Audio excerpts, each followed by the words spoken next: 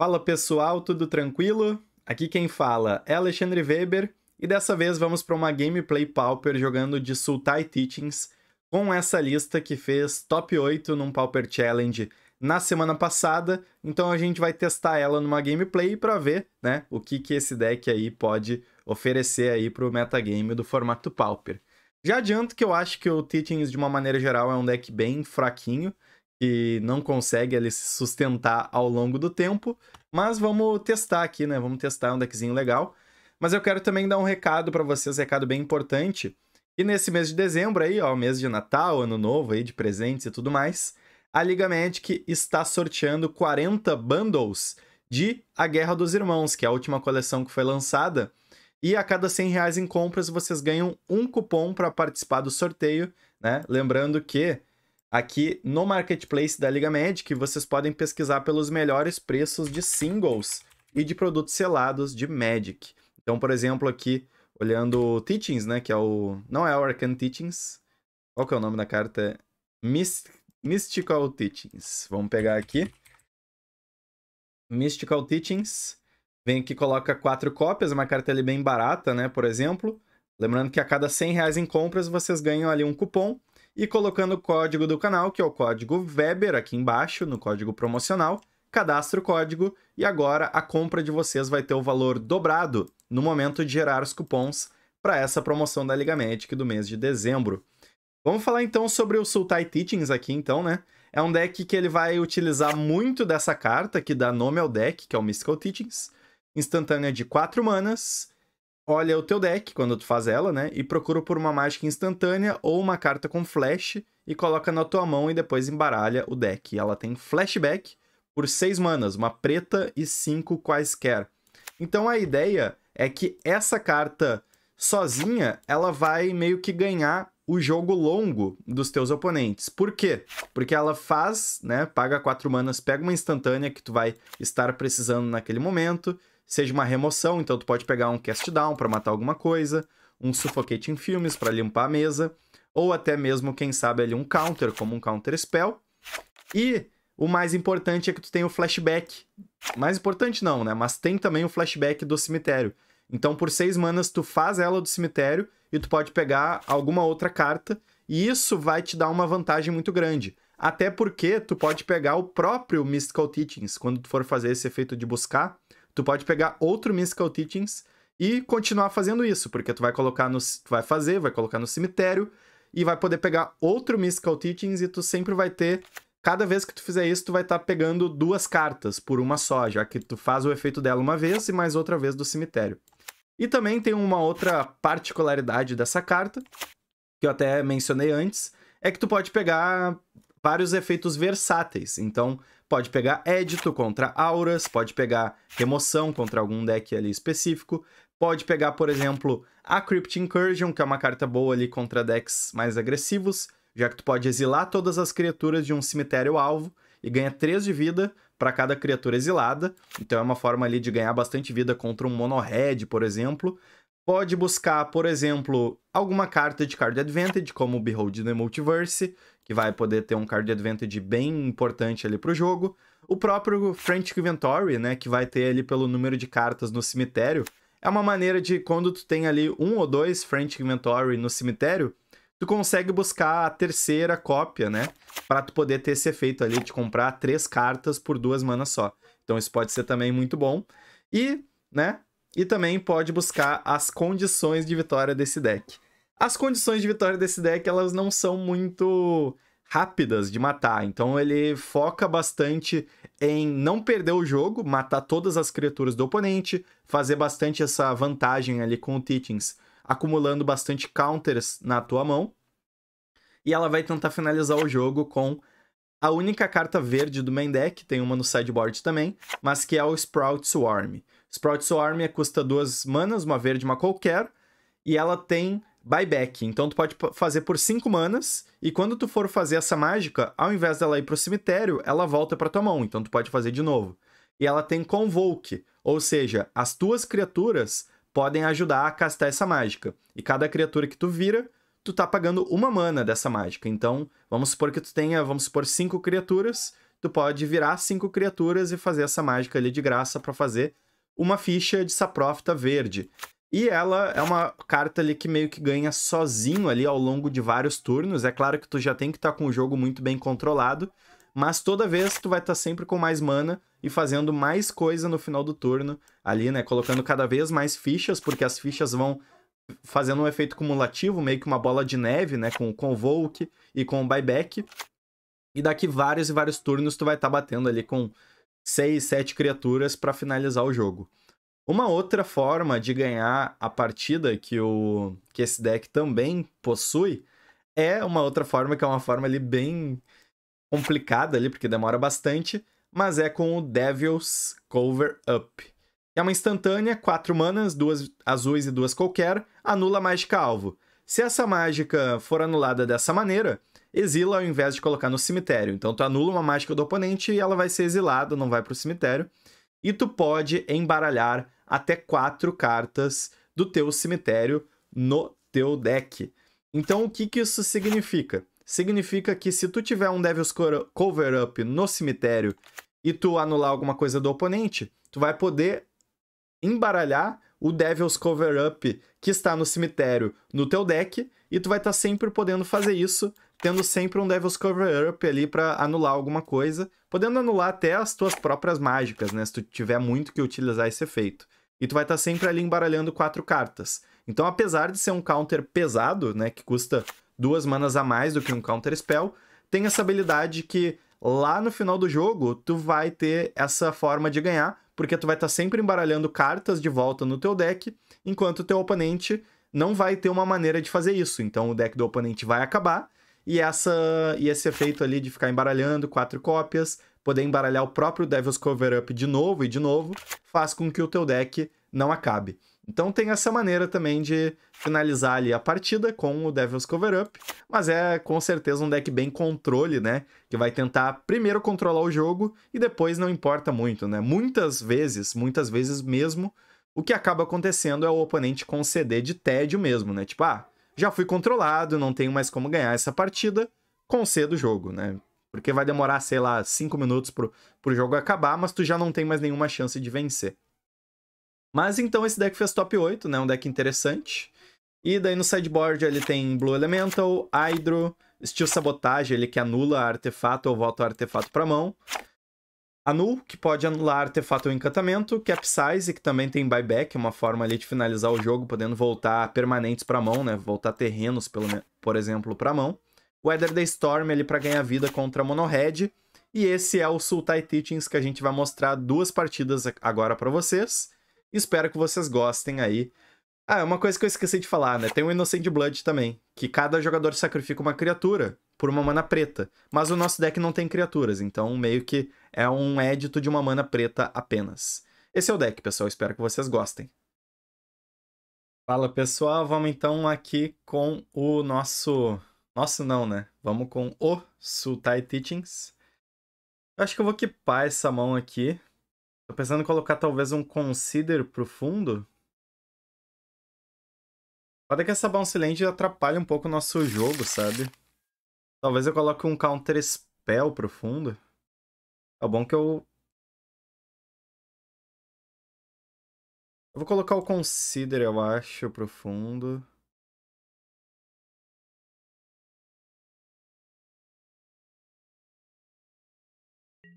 Vamos ver se vai dar certo. Eu não. tô com as minhas dúvidas, na verdade. Porque aqui eu vou buscar uma ilha. É que o problema é que essa bounce land ela atrapalha um pouco, né? Porque vai ter um turno ali que eu não vou conseguir deixar a bounce aberta. Ok, fez um ponder. Tamo contra Pride Liver. 27.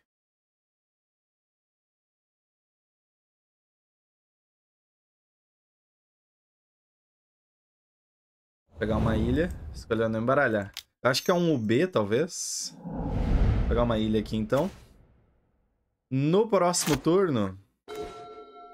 Ah, esse draw aqui pode ajudar, hein? Até porque... Nesse momento, a gente vai ou fazer... Simic Guild Gate... Será que é um... O G Fog? Se for um G-Fog, complica um pouco, talvez, pra gente, né? O nosso deck não pressiona muito. A gente pressiona com o...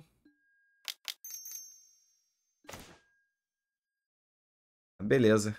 Aqui vamos fazer o seguinte. Eu vou baixar a ilha, e daí eu vou ter o Counter Spell e Think Twice. Deixa eu dar uma olhada aqui na nossa lista. Pra ver como que a gente poderia ganhar de... É, tem o Devil's Cover Up, né? Pra ganhar de... De um Turbo Fog. Então tem essa tática aí. Acho que é uma boa tática, sinceramente. Tô com 7 na mão. Vou voltar uma ilha aqui. Vamos ter esse Counter Spell aberto ali pra anular alguma Kentrip, algo assim. Não sei exatamente o que, que a gente gostaria assim de anular contra um Turbo Fog, né? Passando o turno. É, aqui, infelizmente, a gente não tem... Que isso? Descartou um Rancor?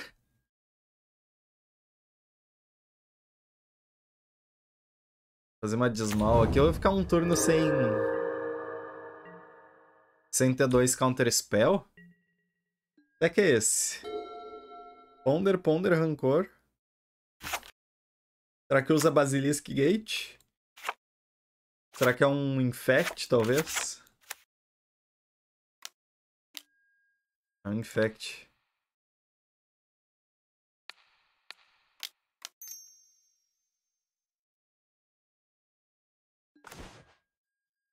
Ok. É, a gente não vai perder pra Infect aqui, eu acho, né? Vamos ciclar aqui, pegar uma ilha. Mais ilha agora, melhor, né? Basicamente é isso. Behold.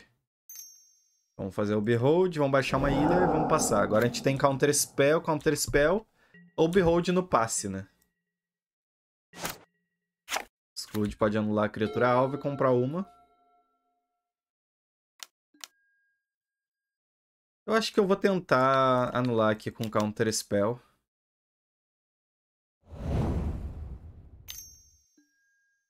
Tá, beleza. O Preordem vamos deixar. É, tem algumas Kentrips, né? Que pode, podem ajudar ali o Infect a não... Não sofrer tanto ali com Flood, por exemplo. Fazer o Behold. Sprout Swarm. Eu não sei se Sprout Swarm... Até porque eu não tenho a mana verde. Eu vou pegar o Innocent Blood aqui. Eu, e eu tenho Teachings ali pra buscar o Sprout Swarm quando for necessário. Tô com 8 aqui. Vou baixar uma ilha e vou passar. Mas o jogo tá bem favorável, eu diria, né? Esse G1, pelo menos. Vai fazer um Frantic no passe.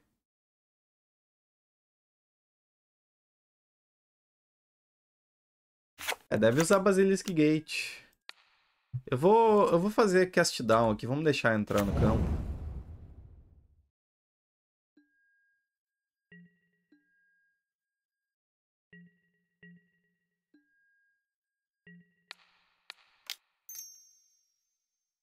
Tentar um cast down aqui, vamos ver se vai dar certo. Counters, Apostles Blessing. Vou fazer um Frantic Inventory aqui. Comprar uma carta. Caramba.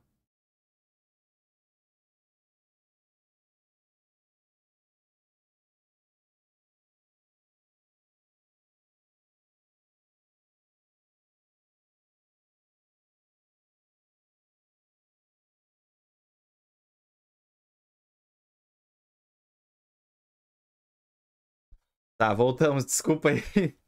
Eu tava matando uma aranha bem pequenininha, vermelha. É foda. Ah, podia ter feito exclude ali, né? Será que eu faço um counter spell aqui? Fazer um counter spell. Desculpa aí, tá? A distração. Não cedeu. A gente ia ganhar vida, mas não importa. Vamos ver se a gente vai jogar aqui a partida até o final.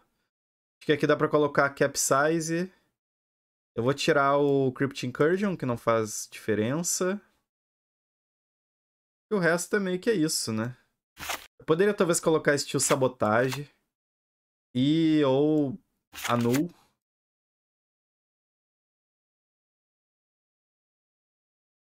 É, eu vou colocar Anul. Eu, vou, eu acho que vou tirar Spirit Storm da Champ Block, pelo menos, né? Esses Devils Cover Up parecem meio lentos também. É, foda que daí eu tô tirando todas as Win Condition, né? Tá, vamos, vamos deixar só os Sprout Swarm.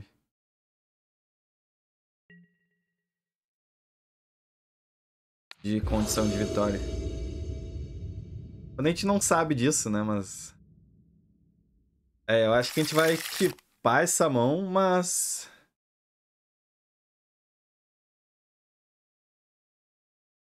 Caramba, uma aranha bem pequenininha, assim, tipo, um, sabe, um, tipo um milímetro de... Dizem que essas são as mais, as mais venenosas que tem, né? Caramba. Fiquei com medo, na real.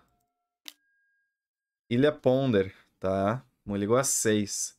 Essa minha mão tá um pouco lenta aqui, mas desde que a gente consiga fazer as coisas, eu acho que vai dar bom.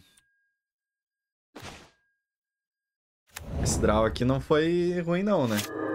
Poder matar ali uma criatura por uma mana ajuda bastante na questão das bounces. Terreno virado. vou fazer o Consider e a Bounce. Eu acho que dá pra pegar aqui o... Esse pântano. Terreninho virado ali, não, não vai fazer mal. Tô pensando em talvez descartar um Small Backwater, talvez. Ou Exclude. Pode que anul também. Eu vou descartar o Exclude.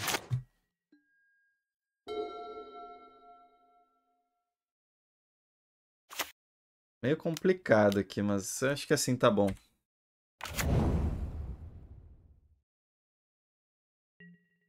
Bom, a estratégia vai ser o seguinte, eu vou tentar o cast down, daí vai proteger. Eu vou baixar o pântano e vou fazer o Innocent Blood.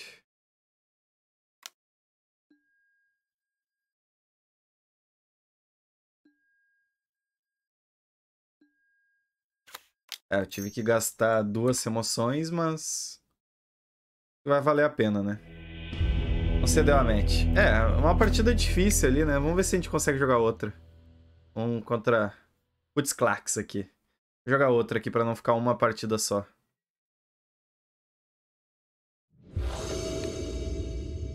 Então aqui perdemos no, no dado. Vamos em, começar em segundo, em segundo. Beleza, uma mão ali boa, ali tem terreno, tem trips. Que dá pra equipar essa mão. Vamos ali contra Putz Clax. Neste segundo jogo, fez uma ilha. Beleza. Será que é um UB Terror? Outro Think Twice. Interessante. Se for um UB Terror, eu vou tentar utilizar esse Bojuka Bog aqui ao meu favor, né? Fez nada. No passe, achei que ia fazer um Totscour. Ilha. Um monoblue, alguma coisa nesse sentido? Eita, putz. Tá.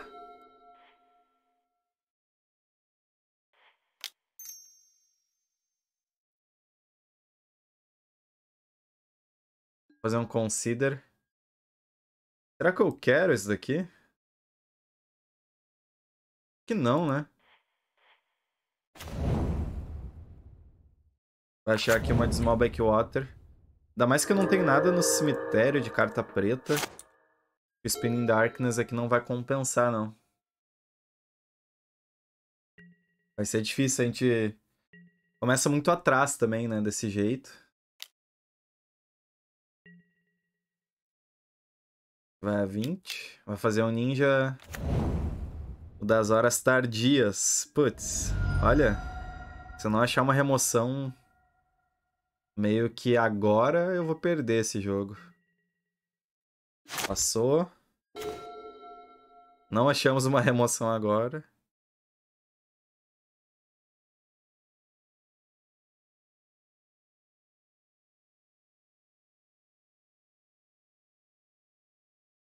Eu posso tentar fazer um Think Twice pra achar um Innocent Blood. Mas eu acho que eu vou baixar a ilha e vou passar. Tentar encaixar o Exclude em alguma coisa. Sei lá também. Situação bem difícil pra gente.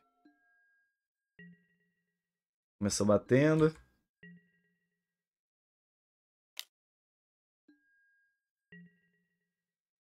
Vai a 18.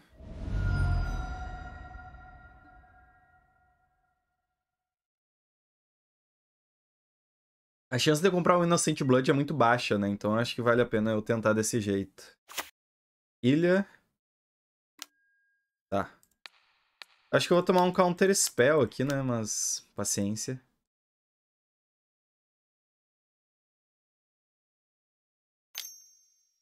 Spell Pierce. Pior, né? Pior ainda do que tomar o Counter Spell e tomar um Spell Pierce. Tá.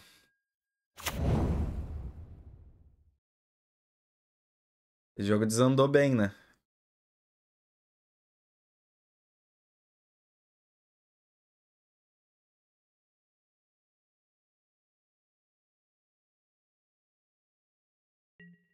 Colocou duas no topo. Sprout Swarm. Não ajuda aqui, né? Eu vou...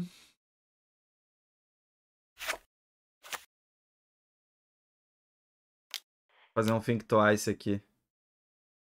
Ver se eu acho uma remoção. Foda que agora tem que ser cast down, né? É, Ed, tu vai sacrificar aqui. Ah, tô achando que é GG, tá? Por causa do ninja. Tu não ganha mais aqui, não. Vamos pro G2, então, dessa partida. Olha, não tem muito o que mudar. Crypt Incursion. Eu vou colocar um capsize no lugar. Se bem que ganhar vida não é de todo mal, mas também capsize é melhor. É, não, acho que eu vou, vou com Crypt Incursion, sim. Ver se eu mudo alguma coisa. Não, vamos assim.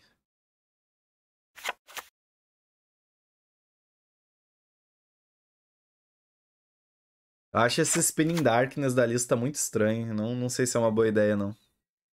Eu penso talvez em colocar Snowfault, trocar os terrenos, os, os de Small Backwater que ganham um de vida por... Os coisas que pode ser melhor, talvez.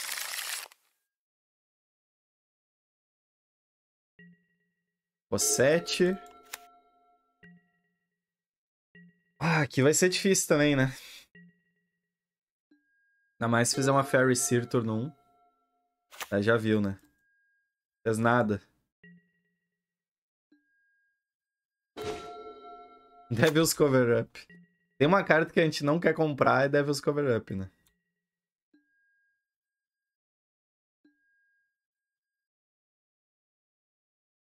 Que isso? Ah, na moral. Vai poder fazer ninja no próximo turno.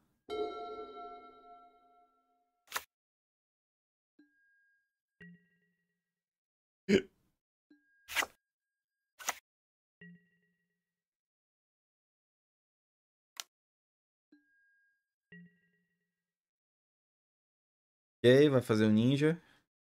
Podia tentar um counter spell ali, mas... É complicado também. Vai a 7. Eu vou ter que fazer esse Fictwice. O ideal seria achar talvez um Might Baron, sei lá.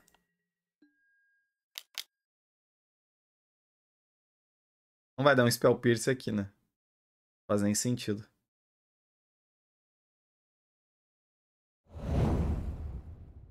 É...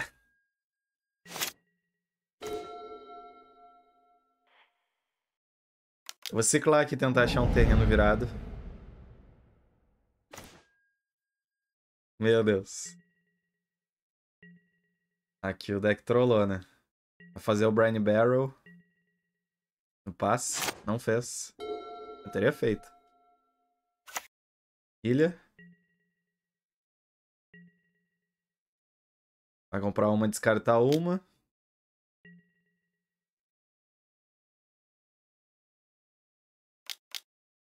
Hum.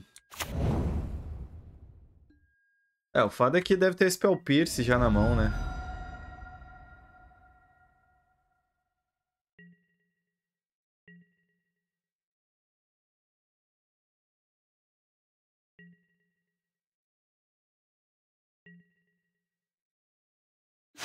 Descartando uma ilha. É, vamos lá, vamos tentar aqui então. Poderia talvez fazer o fazer o Diabolic Edict na, na upkeep, ver se eu acho uma ilha para tentar fazer cast down e... Eu acho que aqui eu tento fazer o cast down e concedo se eu não achar uma... se o oponente fizer um counter aqui. É que a gente não ganha mais. É, pessoal, então foi isso. Uma partida ali deu bom ali contra a Infect, mas contra Fadas fura mais embaixo, né? Bem mais complicada de ganhar. E aqui com o Ninja batendo duas vezes, a nossa derrota aqui já é garantida dos dois jogos, sinceramente. A gente tem que ter uma maneira ali de parar o ninja. Depois que o ninja encaixa, não tem como ganhar, não, no, no meu ponto de vista, pelo menos. Mas espero que vocês tenham gostado aí das duas gameplays com o Sultai Teachings. Grande abraço, até a próxima e falou!